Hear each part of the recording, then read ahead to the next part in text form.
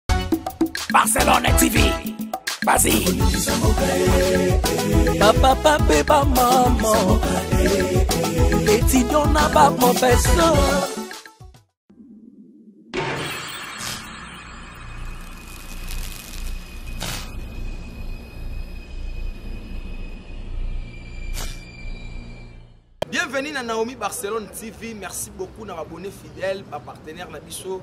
Nde bozo tika biso te ya kosunga biso toujours na ba conseil, ya kosunga biso toujours na ba na makambo nyonso esalaka évolution ya chaîne mpe évolution ya bato ezalazala merci na ndenge bozo partage bavideo na biso bozo aime bozo like bozo commente merci beaucoup tozosala kaka mpona kosepelisa bino ndenge kaka ezalaka merci na babone fidèle nde mikolo na obenga ngo babone fidèle bango so oteka video bano partage bano like mba moko fondation maya isengo la joie maya isengo la joie fondation ezosunga baorphelin baveve merci beaucoup na oyo ozosala jiveshin to ya le père de jumeau abonne fidèle ya naomi barcelone tv merci beaucoup dorcas ngemi depuis les états-unis merci beaucoup mpo totika mpe biso te et mon boss rk muchanga champions league je dis et je confirme papa silem yao yango wana epona nini te na bino nyonso bolanda biso e nde tolobaki na bino na, na naomi barcelone na naomi barcelone tv tokokanga maboko te toza wana mpo na osala bino ka mosala tosalaka mosala mosala obe mosala e lelo tosukuli bamai nde tomesana kosokola bamai ya ntongo tolati na biso mpe mwa bien mpo tomekana na biso mwa bien tokiti wapi tokiti na limete na limete na résidence familiale vraiment ya artiste ya makasi actrice ya makasi oyo oh, bolela ye fort bolingaka mpe mingi aosala mpe fierité na monde na biso ye nde lelo tosola na ye todécouvrir ye ngai na bino ensemble e na page noire na biso toprofite na équipe momba ya naomi barcelone tv toprésente mes condoléances les plus attristé na na ndeko na biso sila bisalu bekam sila bisalu bekam akufeli papa na bango donc équipe ya naomi barcelone tv topresente bacondoléance le plus attriste na famille biologique epuis na bacomédien nyonso tout tozala wana tolela na ndeko na biso sila bisalu eh, topusana na biso deja kumalo mpo toyebi na biso deja lupango nde kai ezalaka nango toyebi na biso donc topusana toye koluka ndeko na biso ye nde tobeta nde vraiment masolo lelo na kingakati ya lelo nde kai ezalaka kokoko tobeta masolo lelo na ndeko na biso bolingaki mpe mingi tellement donc ye nde we l'artiste mimi kabongo mimi kabongotroisième vague mais lelo frayon mpenza ezalaki likolo eh, en tout cas lelo ange wana mpenza kiti ya frayon mpo malili ezalaki na ndima eteke moi ekoya 12 degre danger mais etayi biso ah oui ya pas ça Nakimi ya liye. Par la grâce de Dieu. Mimi Kabongo l'artiste. Autrement dit Messi. Messi Johnson Lex. Nalinga mingi fille de ouf ne sala nga tavos. Voilà toko tala biso. Danger toko tala biso. Yo Luka bo comprendre déjà invité au Théo Luka. Mimi Kabongo l'artiste. Mimi Kabongo. Hmm, merci beaucoup. Merci beaucoup. Babi toi la résidence familiale il y a ya artiste na biso mimi kabongo oyo tosulanende ezala kaka bocomprendre déjà bocomprendre déjà invité na biso na kingakati ya lelo oyo tosula na ye l'artiste mimi kabongo autrement dit messi johnson la fille de ouf mwana ya bino mo botiaka ye kota bokomprena da savoir na ye donc esala kesala mwa bien mama mpasi nde bande ah, invité na biso na kinga kati déjà mimi boni santé ah oui dieu fait grâce par angolu na ye tozovivre na biso tozovivre na biso nyonso ekenda bien eh, Okay. Mais avant tout banda, non, c'est puis là tout, puis ça tout la famille.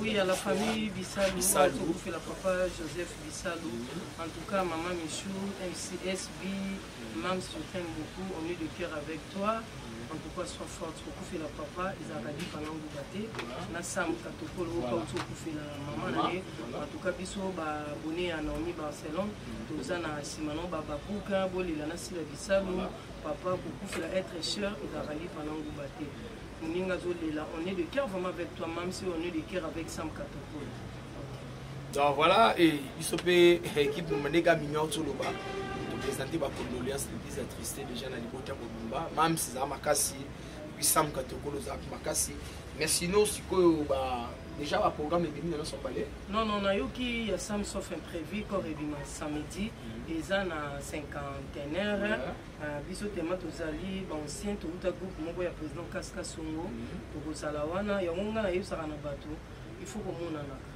moi ti tosalaka bamutualité je profite aussi de l'occasion ti tosalaka bamutualité tosalaka baassociation ezalaka mpo na lipa na nguba te tozalaka na batemp mingi te mais à partir déjà ba 17 heure ba 18 heure ba 19 heure tozalaka déjà off mo whatsapp mwane ti tosali groupe mobe mpo tokutana tosololaka tosunganaka lelo moto okozwa problème ata famille na yo bakosala mais famille artistique na yo bisika osala mosala soki baye vraiment kocompatir na yo meme na bandako meme bafamille esalaka bien mwana biso asala wapi asalaka na dgrk e eh, bandeko na ya dgrk baleli asala na inpp e eh, bandeko na ye asalaka théâtre e wana famille artistique na ye en tout cas baleli na ye mpenza papa to baleli na ye mama esalaka bien ti tosalaka baassociation wana omona fa association de femme artiste omona bomoko oyo nga mona nazali trésorier kuna omona oye lisusu na lisungi ya nguya nazali moko ya social su na kati wana tosala bagroupe wana lalu ezalaka na ntina moko mpo lelo toza na temps mingi te mais déjà soki déjà 5 quelque personne to 200 moto okutanaka na groupe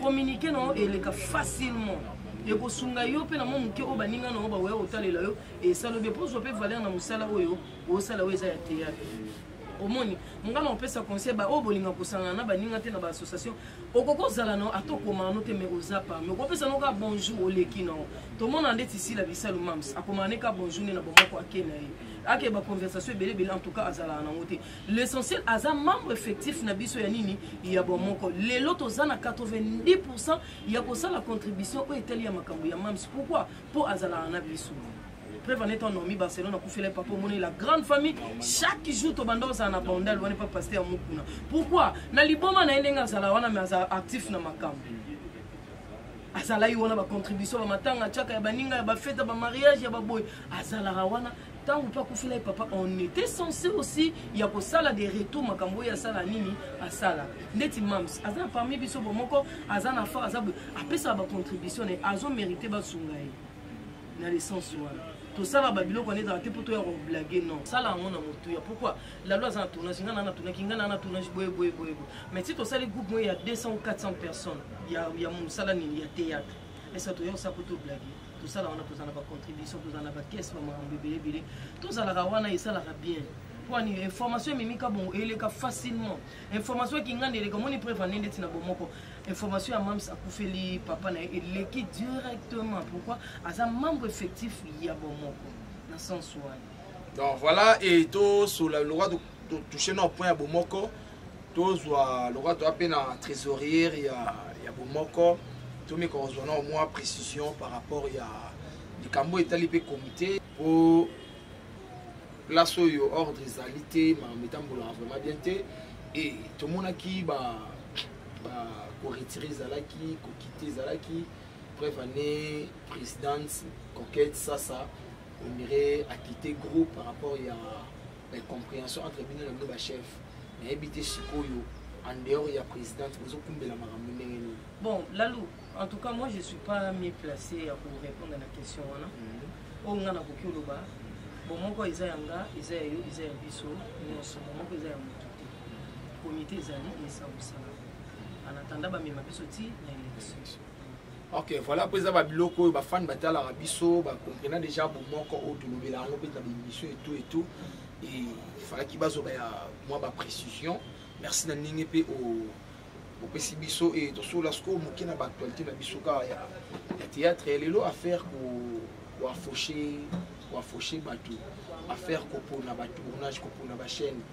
et mimi kabongo ataki artiste comédien okojuge bamakambo wana ndenge nini ataki art eza mosala na yo lalo en fait nde tosala mosala oyo ya théâtre ya motu na motu ayebi bit oyo ayebi mosala moi c'est mon naza na chaine te nga ata chaine ambanda na motu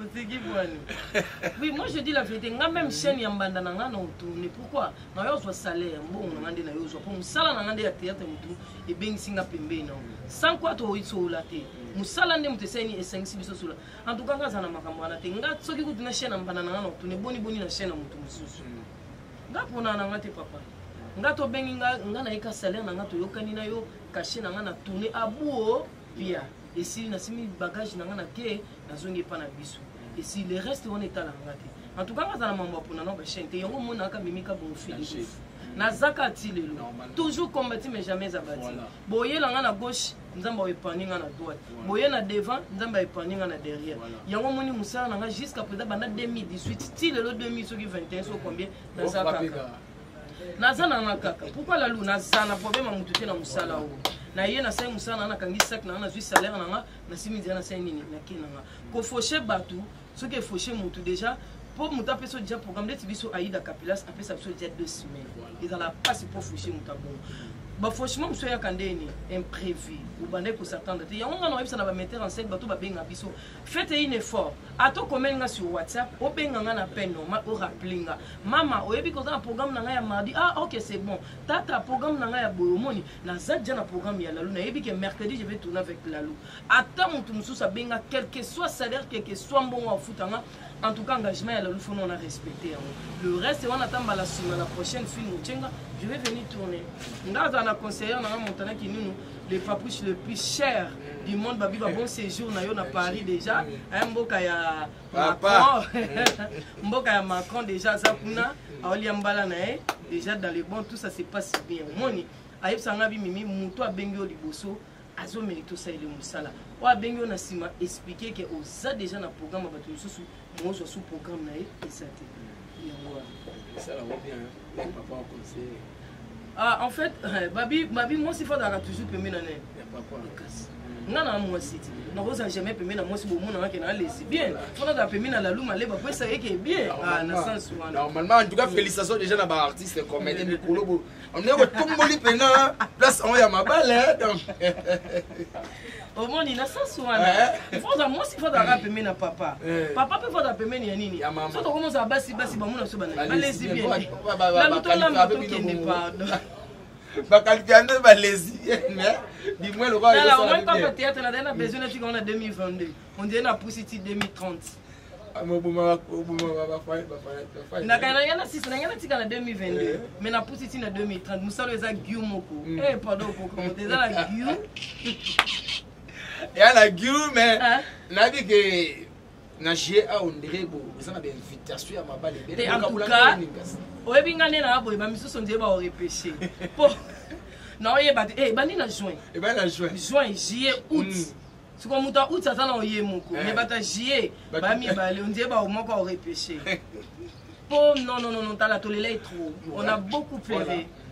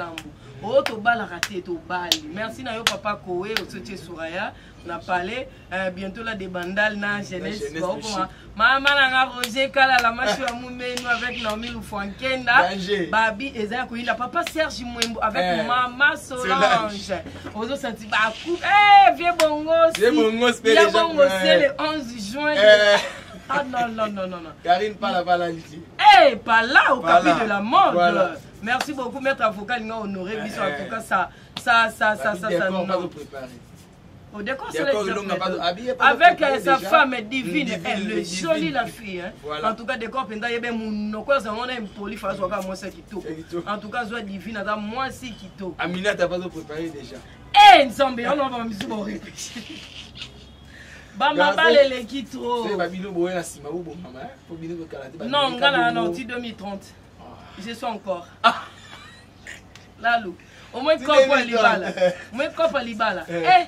eh copine na nga tofanda lopango moko mama shasha mama na joan mm. na emmanuel ayebisi yanga bi libala basalaka nango blak te libala eh, loyi bomona nga divorce nakomi su na bakomi kosala baprocédure nono nga na nano ti 2030 ebelela nga na nano babalabala te mpo nga natikala libre mpo toko otya contribution na nga bato baesite te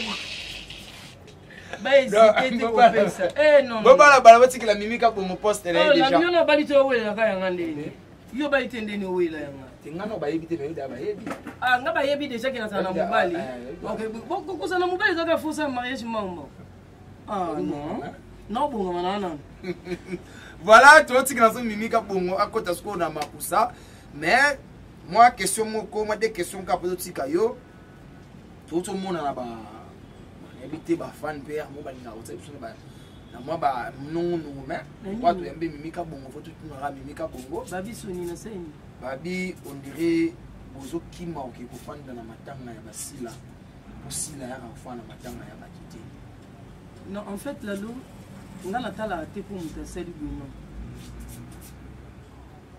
bible elobi oyo akosalaka malamu akontinue toujours kosala nini malamu oyo asalaka mabe akontinue toujours kosala nini kosala mabe eloko moko vie na ngai matie makoma kibwila na soni kuavita bayebisaka babimini soki oyebi motema no esala malamu kolanda te mpo lalu asali mabe ifo ngai mpe nasala nini nasala nonono non non non nga na omesanaka na nde na rythme na ngai ya kokovanda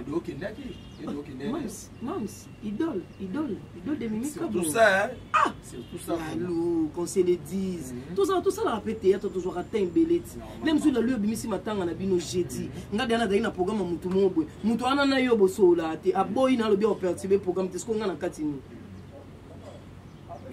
neti mams bisa lusila bato baza koakize mpo bamonake te aya na matanga badavina ntango davina akufelaki aya na matanga babarcelone ya barcelone akufela ye papa aya na matanga ya bagabriel ya gabriel akufela ye grande sœur finalement soko ayaka te wana eza koya te ebele ebandaka na combien mibale eh, pourquoi bilo mosusu ezali nango ya koloba bosote na bino ka page yo amoni ngai nalingaka émission mingi te nalingaka mingi kojoue pourquoi mpo na bamamambolalo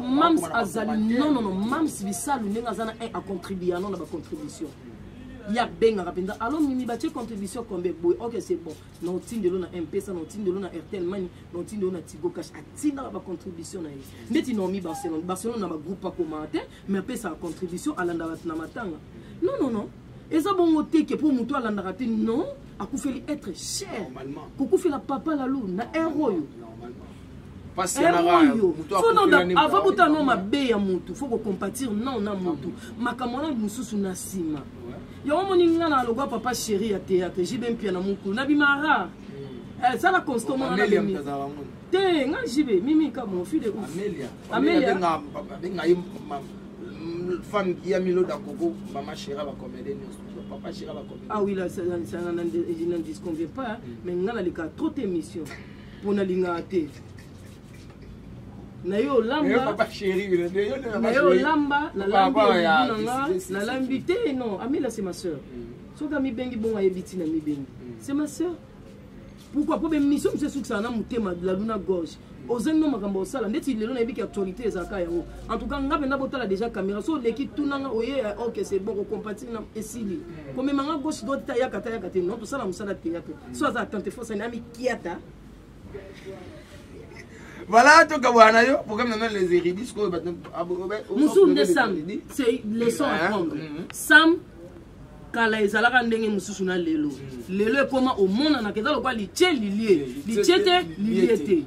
koakize bato te mpo bato baye na matanga te tala nano etamboli na yo na baninga ezalaka ndeni oyaka to oyaka te yango biloko yango yango oyo mosusu ye wana serge luye eteya ye mpe na profite mpe na occasion naloba ya luyeye yo ozalaka toujours so batio na groupe oretire bokitaka kaka bagroupe lelo sikoyo tokomi lokola bazoba moko ya kosambaka ma makambo mosusu ya osambaka te zala na groupe koloba na yo te mais zala contribution tya sala boye lelo sam oloba na motu ne okufeli mama biso ba misusu toya po les héridi en sobe sam tie mon frère tie aussi moluba comme moi monanaka na makambo ya bato esalaka bien et voilà et to, on dirait tosukisa biso nano na mimi awa mpo tocomprendre soki eloko nini mimi akolambela biso comme ça oyo etikali tokosolola yango atala mbala nsima mbala nsima ya koloba deya tosi tolobi tolamba tolia tokende mbala nsima mimika bongo sikoyo tokomi na temps ya présentation en tout cas d'abord mhm. nazolamba misili misili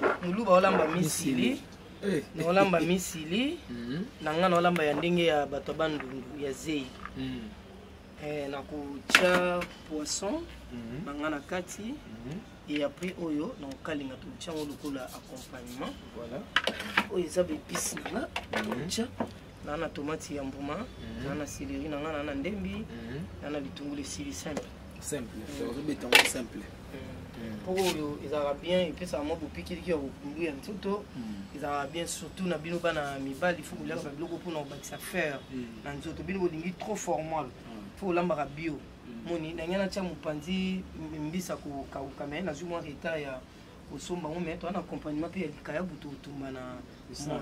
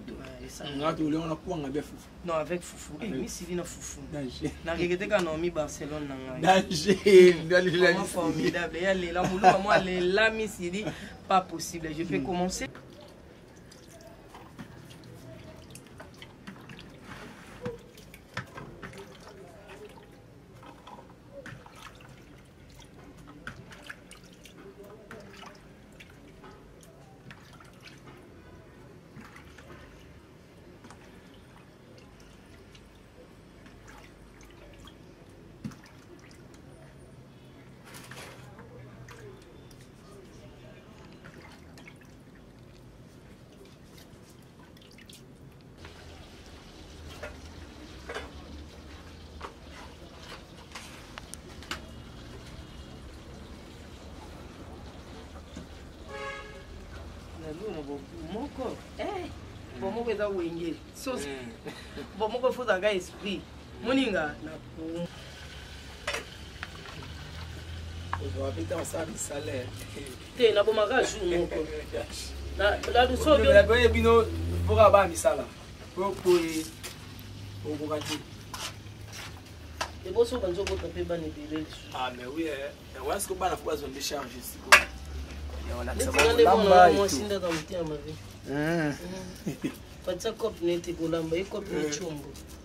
Mm.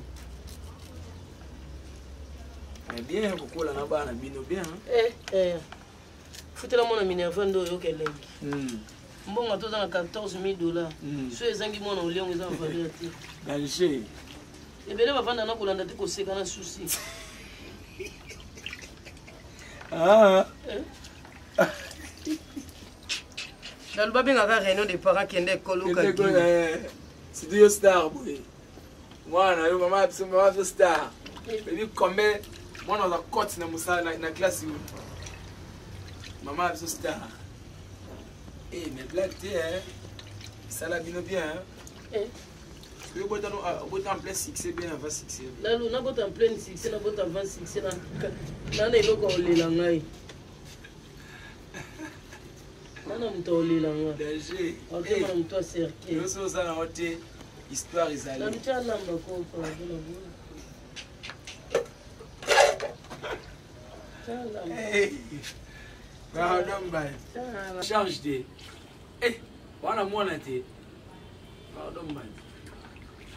il faut il faut obota mwamba na mwamba non non ya mwamba mpe ezalaka nango malemba okotya mpe mwamba mm.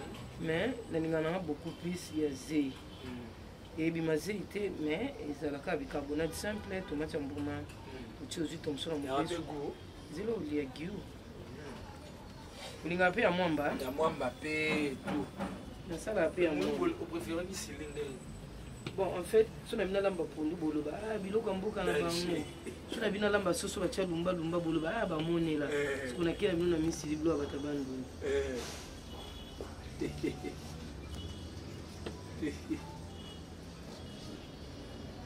moto alakisa ngai oyo eh. ezali koko ya patricien awana ngai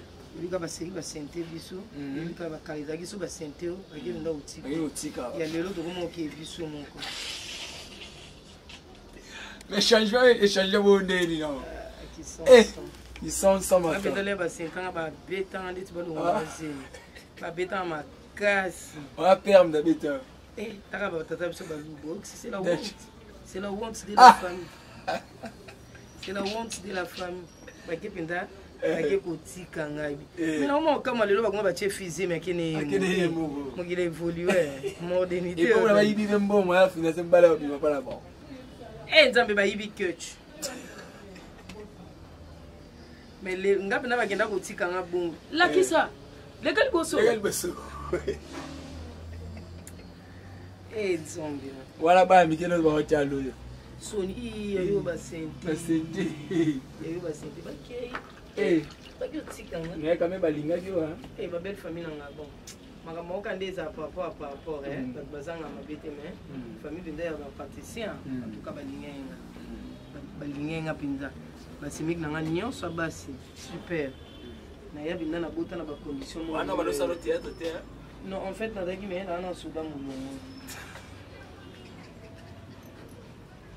Naosamela soda molongo. Ah, Baki na soda molongo. Naza soda molongo. Hmm. Baki batiki nga kope ekufi ti. Danger. Ona na les iridi. Yes. Hmm. Mwana no bayebi ye ti baboboma noka. Hmm.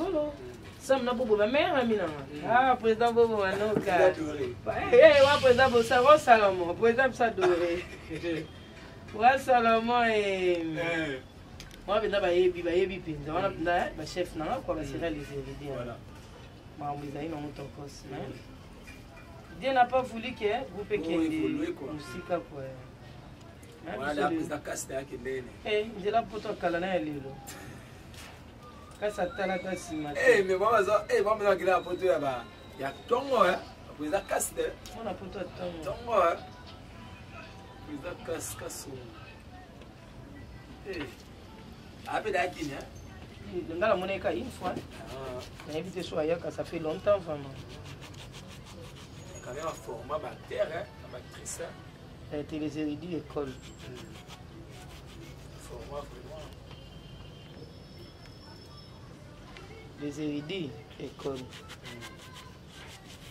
soki azalaki bon ndenge asimba nango kaka te e baprésident boko manoka bwaka lèvre na ye te azalaka ati sikoyo soda molongo danger baprésident mike la duchesse likolo nango azalaka mbolombolo danger bamamisa chama eh, biso basi tozala na soni basimplicité ya kibaa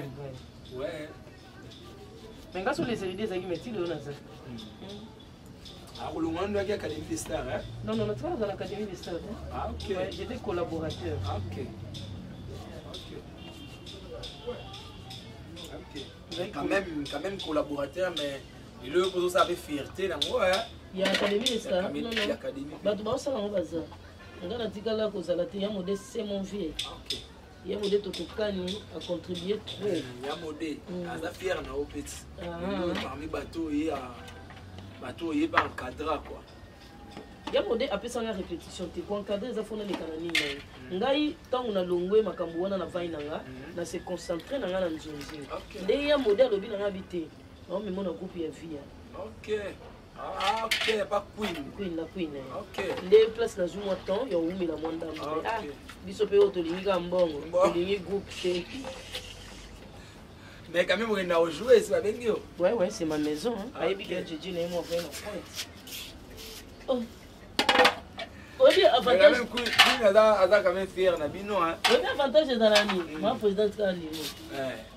oza lolendo ata bayo oboma boye baboma o trop bazwani nana oza mimi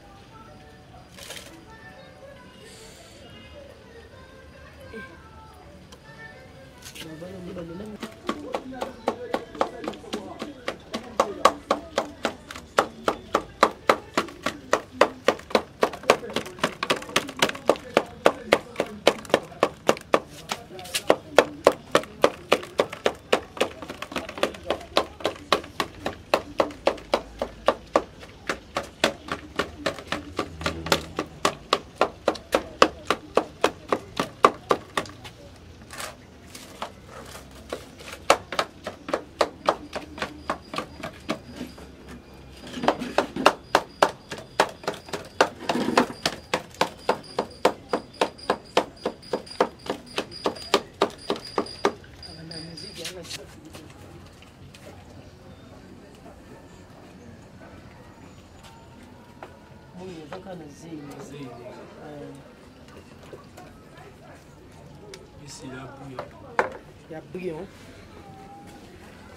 Buya buya nde makambo. Ayo ngano mila buya.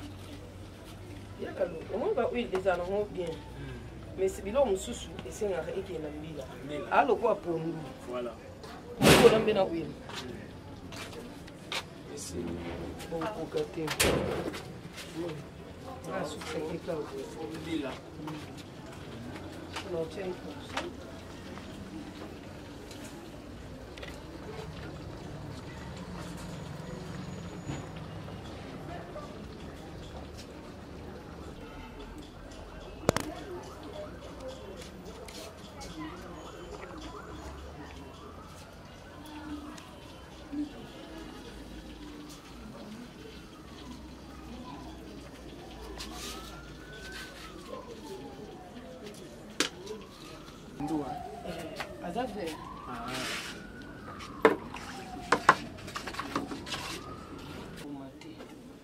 eza na bapate mosusu basemune mosusu omona ezali bien te otie boye mai esi etoki esali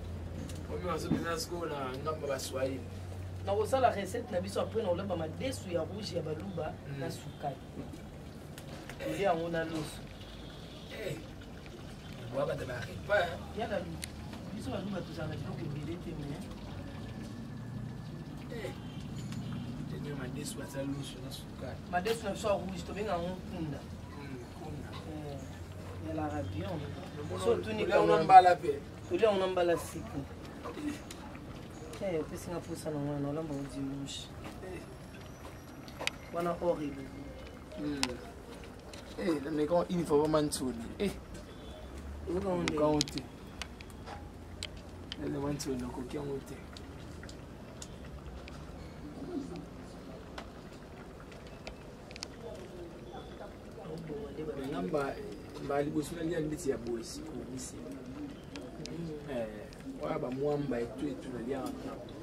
Lia o kuma fan na. Ba bibi ba suba mwamba te. Vitamine D, vitamine.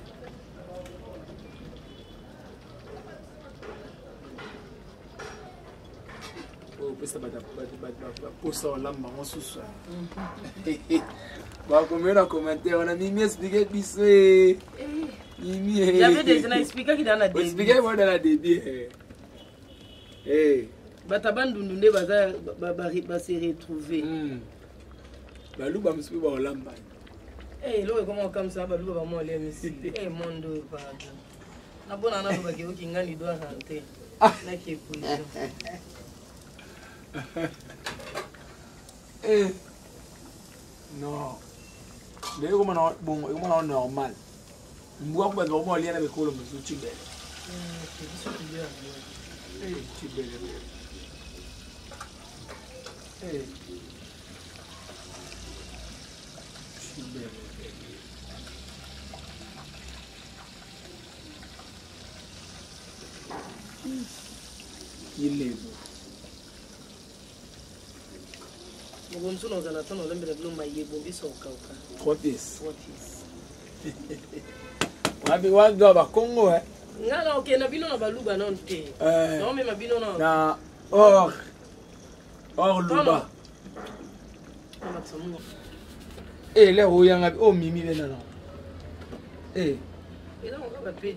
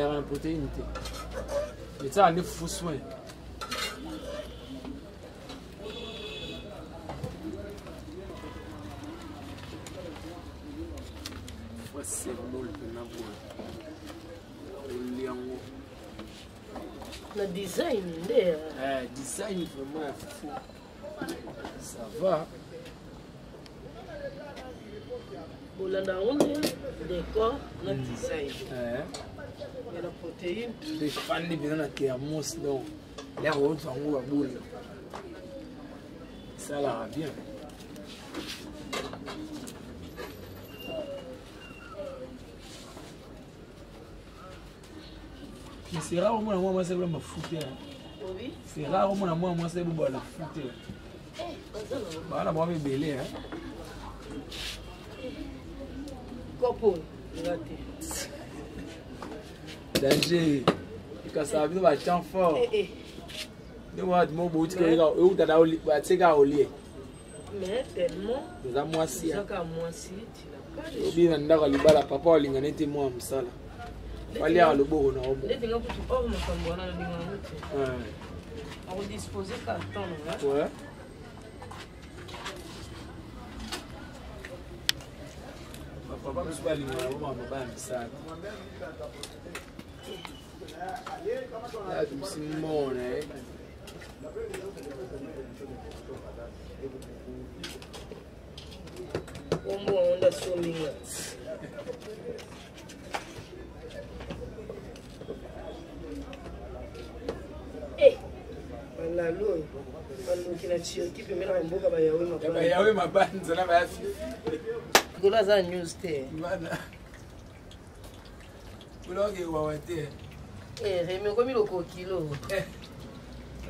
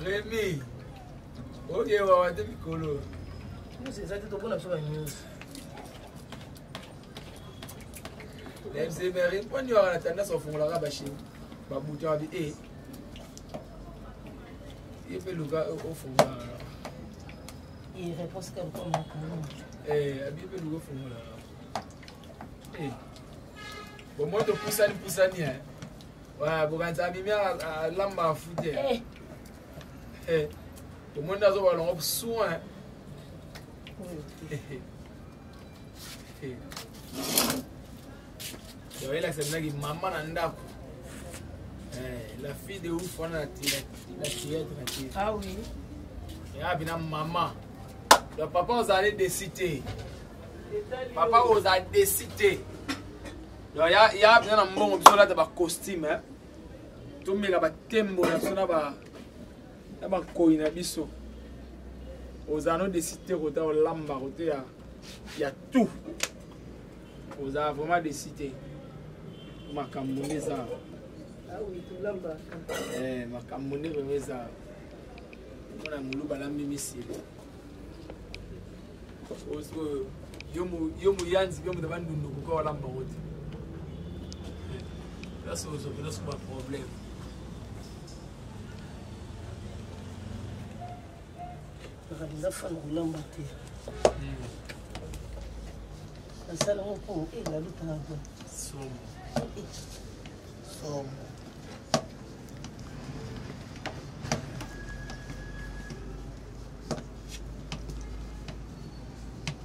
na pembe na decor eh namoni ye kala ya mwana nalingaka ye cameraman nanga aza moluba nasokela ye biso na fufu danger amina na ye kumalo amina mina na ye babi samedi nde tokoyoka te tokoyoka te ba jolie copie hein? Mm, félicitations jolie copie baye ba cameraman mpe balali te eh, gael mpe aobalali eh, ah. félicitations na gael gael félicitations jolie copie félicitations trésor de bandal Eh. Félicitations. Papa Koé. Papa Koé déjà. Eh. Félicitations Papa Koé. Eh, wana ba cameraman ba ça ba ça fierté. Après ce que ba comédien. Après ba journaliste. Na ba journaliste ba oya. Ba résidé kalaté ba résidence. Mais c'est les journalistes. Tonton. Tonton Barezi. Yo pe kalaté. Ah Barezi amona asali elubu. Eh. oyebi obenga ye misio lalo alukela kaka baproblème babi tosepela na bandeko na biso bakomede baobala basala fierté okapi de la mode carine pala babi ba feti ya maître avocat en tout cas aza kohonore biso sala biso kitoko eh, en même temps naomi lufankenda na roger kalala voilà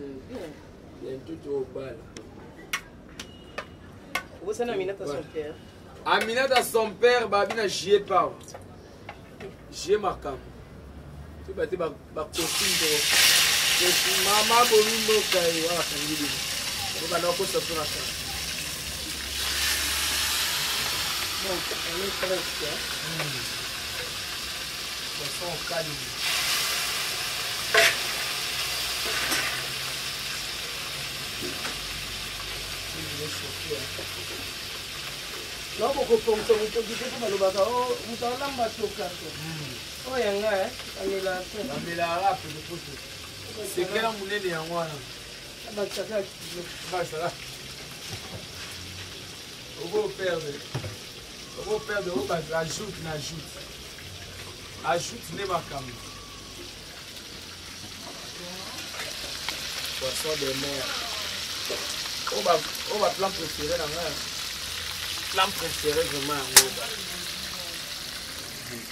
babi plan préféré kumalo tolia bion tomela bion lelo so olingaka mwa boye mwa olie esalaka mwa baya te barata e baliamisi mpe barata Eh, Keren. Keren. Keren. Olia Miss Lido raté. Keren. Keren alia Miss Lido raté. Keren wadia wadia yaku. Keren wadia yaku babi moi ça moi ce mot ya teint clair hein. Moi ce mot ya teint clair rata banda lungwa. Keren wadia yaku donc ya mwana. Eh, babi moi Miss mo boye Miss mo na komina banda na wala ndabisa.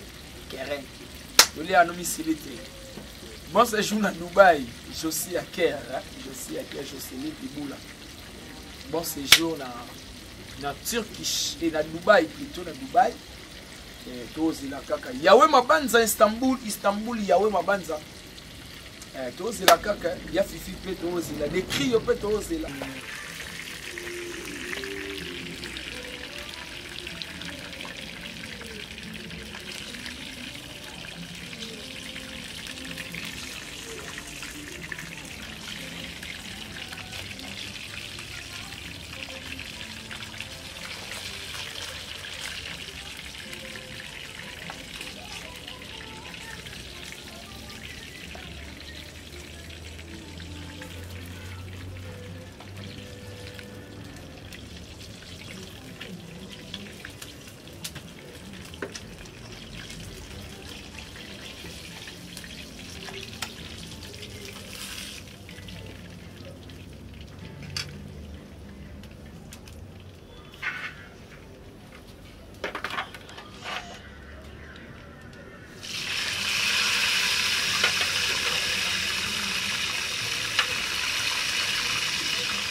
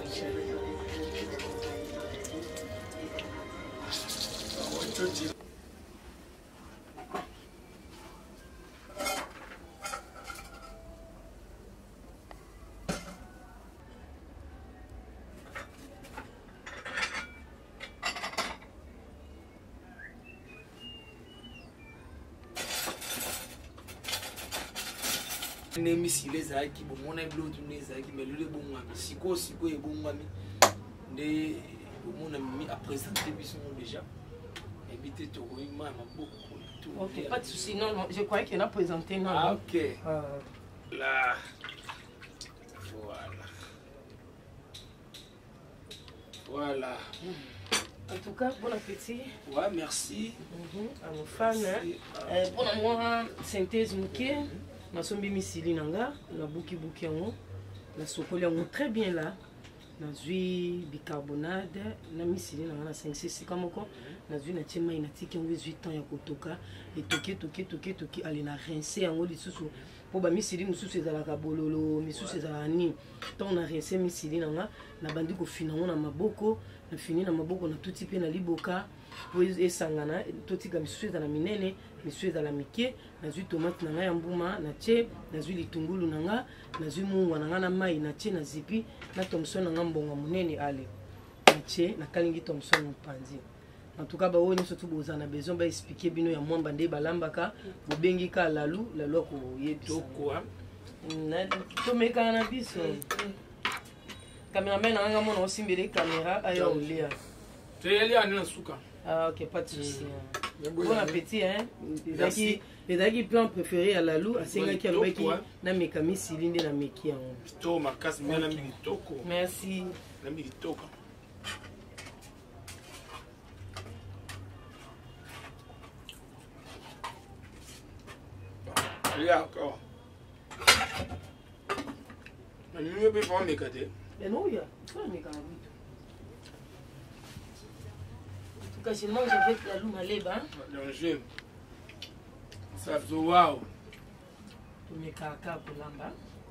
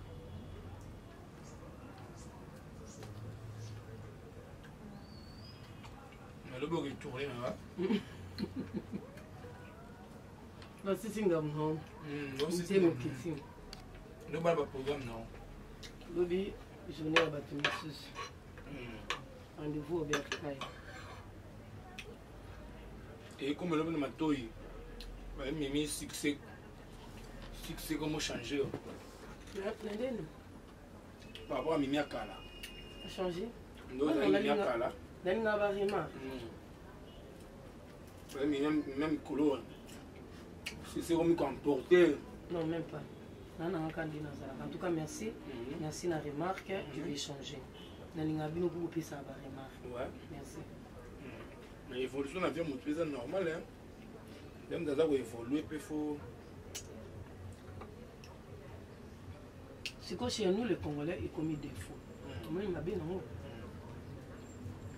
oh, ngai nayebi fiere eza qualité fiere eza defaut te fiere yaka defaut te fiere yaka qualité me bato babandi kochange makambo ndenge na bango kaka mimi merci beaucoup atomoki na toda na fin baotala yo mhm. bafani na yo baali bato balingako mpe sosola na bango ata mwa 5 minutes na caméra ta 3 ah, ok merci beaucoup à toi stela mboyo beauté mpo na confiance opesaka mimika bongo balobi déjà barivage ya baperike ya bakiki esi eye ya bacouleur nyonso tout balangue oyo mpe bomoni ngai na tiango mikolo na otune nango na bafilme eza mpe toza na basorti nyonso tu ya baperike oyo okolinga adresse eza kaka moko epai ya stela mboyo bote na canada ozwi ka nimero ya mimika bongo fille de ouf obengi tokopesa yo nimero ya stela mboyo okoti na page facebook na biso omona tokoma stela mboyo bote okoti wana ozwa banini atwa mama domitiel na makenza motema ya papa adi londole azolela na biso papa ya basila bisalu atwa sara mutela héritier wax mm. na waterlo autorité morale merci mpona mm.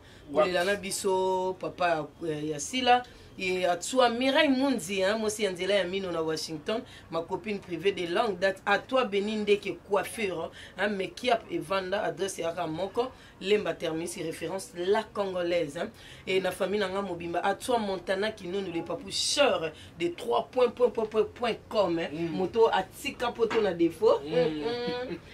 ayaya bayoka douleur balela aisa na ngashike mimi kabongo e atswa e yo nalingaka kotya oyo yo moko yo moko hmm?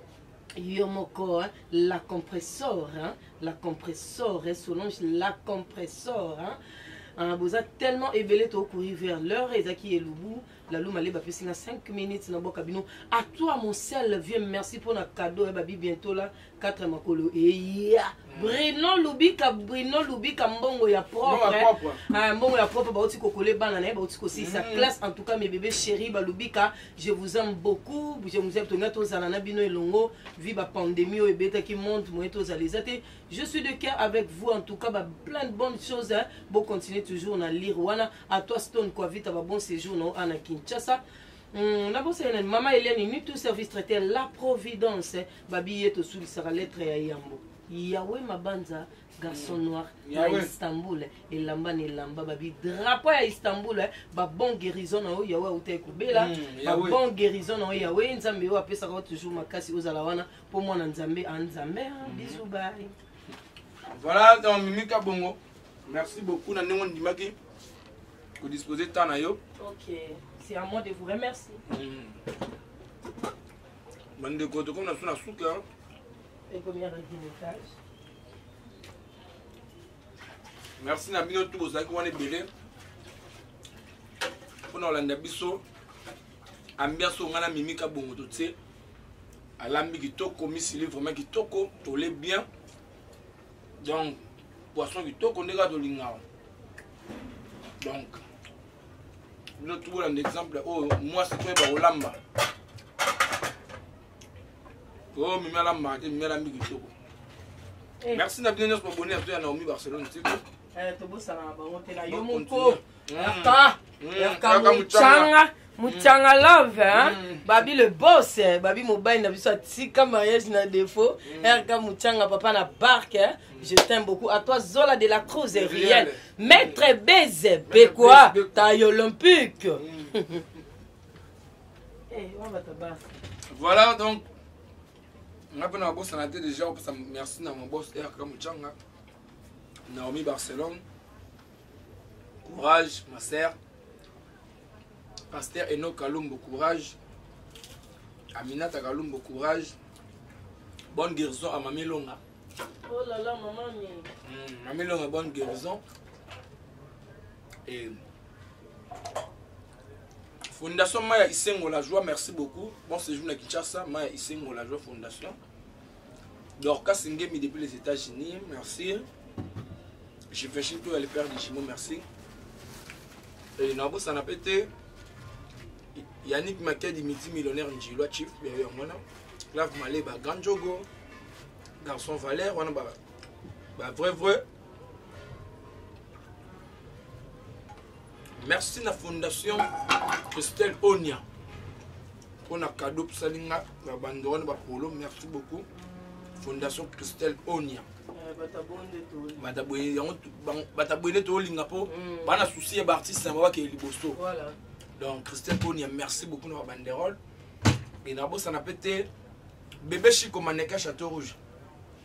donc yango wana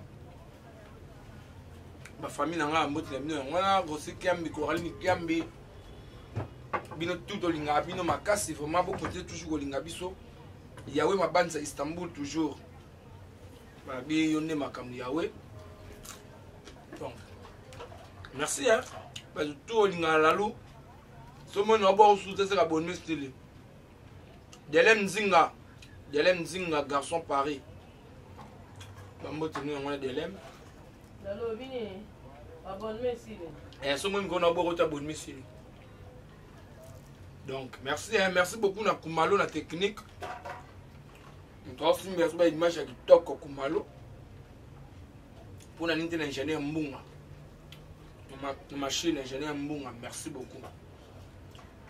donc baboni na biso nyonso merci encore une fois mes condoléances na sila bisalu bekam aolela papa do papa na biso tout esam katokolo mpe tolela mama mama na biso nyonso tout donc nzambe azala na bino apesa bino makasi lisusu esala bino toujours bien donc ngai na bino tomonani na prochain numéro